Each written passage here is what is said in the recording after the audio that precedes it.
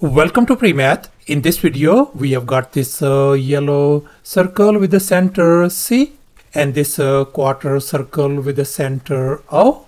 Put together as you can see in this uh, diagram such that uh, points A and B are uh, their point of uh, tangency. And moreover they intersect each other at this point P and Q. And furthermore this tiny segment OP is 2 units. And now our task is uh, to calculate the area of this uh, yellow shaded uh, circle. And just keep in mind that the area of this quarter circle is uh, 49 uh, pi square units. Please don't forget to give a thumbs up and subscribe. And please keep in mind that this figure may not be 100% uh, true to the scale.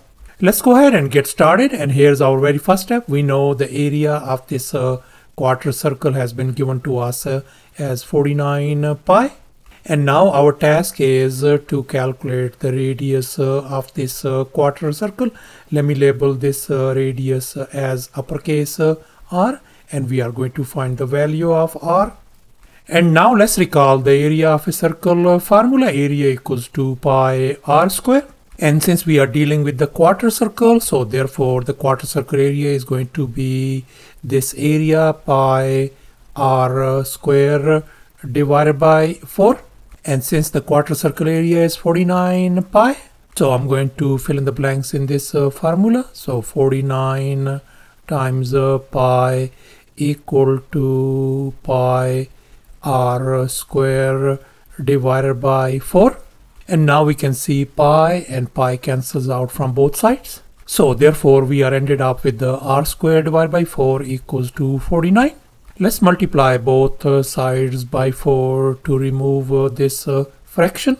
And here we can see 4 and 4 is gone. So therefore r square turns out to be 196 let me go ahead and undo this uh, square by taking a square root on both uh, sides so therefore the radius uppercase r turns out to be 14 units. So therefore the quarter circle radius uh, turns out to be 14 so thus this uh, quarter circle radius uh, turns out to be 14 and likewise uh, this uh, radius uh, of this quarter circle is 14 as well. And in this next step I have connected this center C with this point A and now let's recall the circle uh, theorem. According to this theorem, the angle between the radius uh, and the tangent line will always be 90 degrees. So no wonder this angle has got to be 90 degrees since uh, this uh, AC is our radius and this uh, is our tangent line.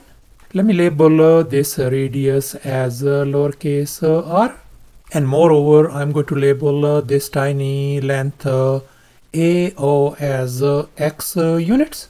And now in this uh, next step, I have dropped a perpendicular CM on this chord PQ. And now let's recall the perpendicular bisector theorem. If a radius of a circle is perpendicular to the chord, then the radius bisects the chord. So therefore, uh, this perpendicular CM is going to bisect uh, this chord PQ into two equal parts. Uh, this M q and this uh, mp and now let's make an observation. We can see that uh, this uh, mo length uh, is going to be equal to this uh, ac length. If this length is lowercase r then this mo length is going to be lowercase r as well and furthermore we know that this uh, op length uh, is uh, 2 so therefore this remaining uh, MP length is going to be R minus 2. So therefore this uh, MP length turns out to be R minus 2. And since these uh, two segments are equal in length, so therefore uh, this QM length is going to be R minus 2 as well. And now let's recall the tangent secant theorem. According to this theorem, if P is an external point, and points uh, A, B, C are the points uh, on the circle then according to this uh, given theorem uh, PA square is going to be equal to PB length uh, times uh, PC length. Now we are going to apply this uh, theorem uh, on this part. We got this tangent AO. Then we can write AO square equals to OP times OQ length.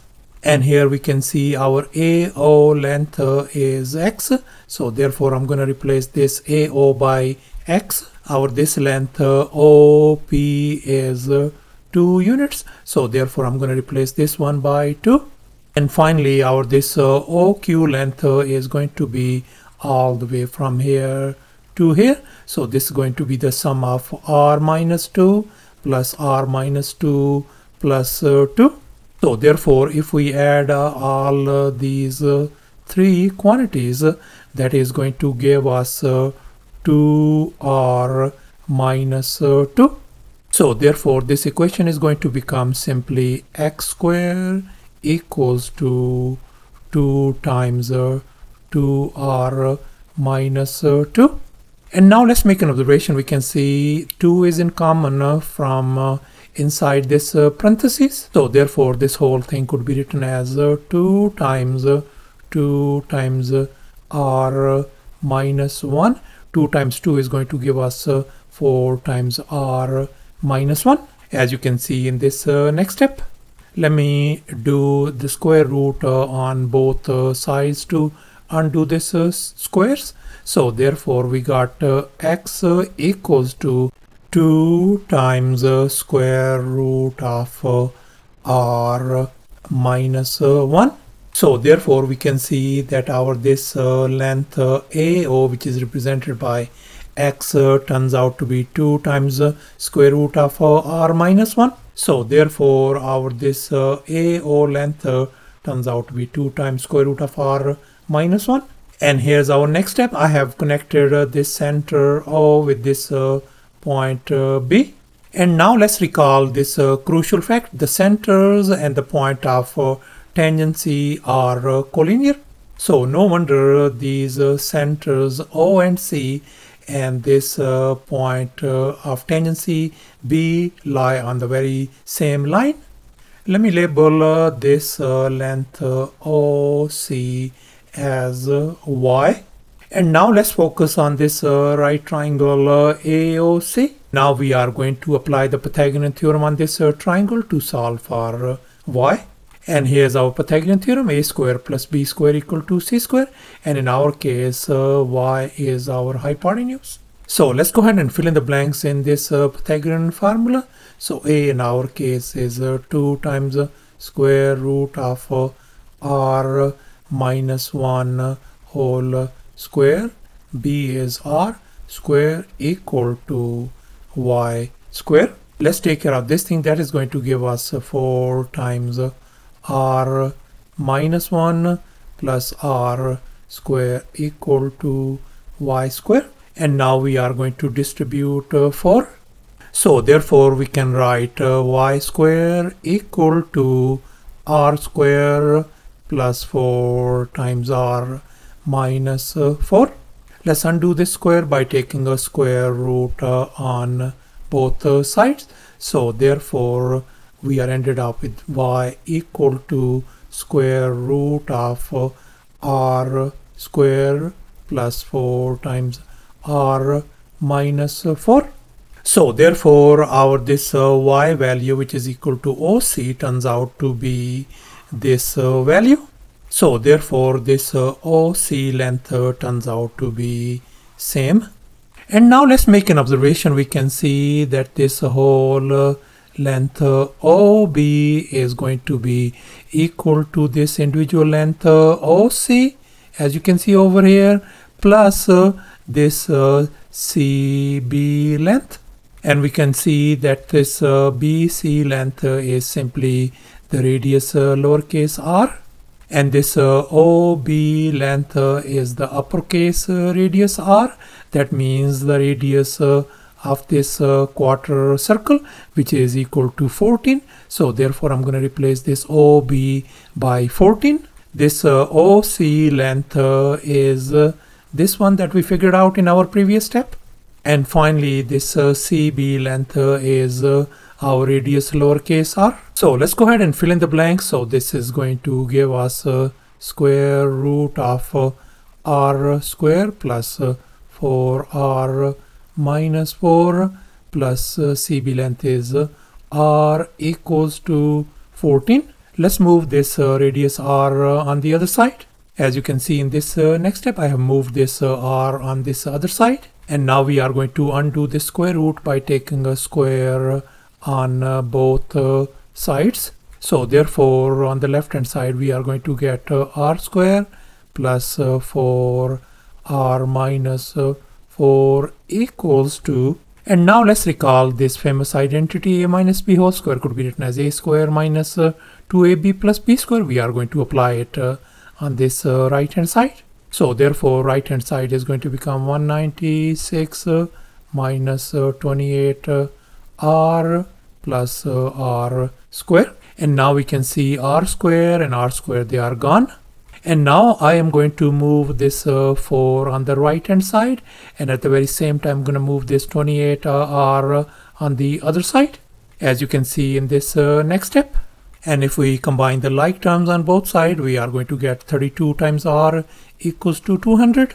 Now let's divide both sides by 32 to isolate r. So therefore our radius uh, lowercase r, if we reduce the right hand side, that is going to give us uh, 25 divided by 4 units. So therefore this uh, yellow circle radius turns out to be 25 divided by 4. And here's our final step. Let's go ahead and calculate the area of this uh, yellow circle. And now let's recall the area of a circle formula once again. Area equals 2 pi r square.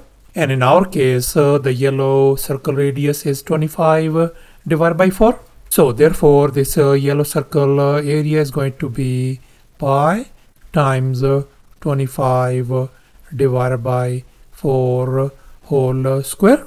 So therefore the area of this uh, yellow square turns out to be 625 pi divided by 16 uh, square units. So thus the area of this uh, yellow circle turns out to be 625 pi divided by 16 uh, square units. And that is going to be approximately equal to 122.72 square units.